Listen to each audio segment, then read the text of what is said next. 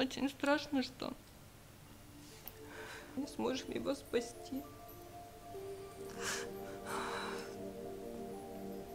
Его может не быть с нами рядом. Э, Меня зовут Катя, э, мне 33 года, я мама Мирона. Полгода назад Мирон начал плохо дышать. Я не могла подумать, что речь идет о раке. Мирон понимает, что у него больная кровь, химия, он знает, когда ему капают химию.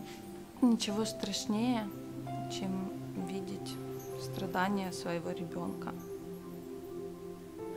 Он плачет, он смотрит на меня, просит, чтобы я ему чем-то помогла, а я не могу ему помочь.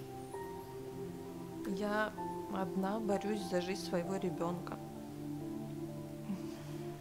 Я не хочу представлять тот день, она не будет рядом. Для того, чтобы вылечиться, он должен пройти очень дорогостоящую процедуру. Это пересадка костного мозга. Не успеем собрать нужные суммы. Если я потеряю своего ребенка из-за денег, я не смогу простить себе это. Я прошу, чтобы вы не прошли мимо Мирона. Я не хочу представлять тот день, Я не услышу его смех, что он не обнимет меня,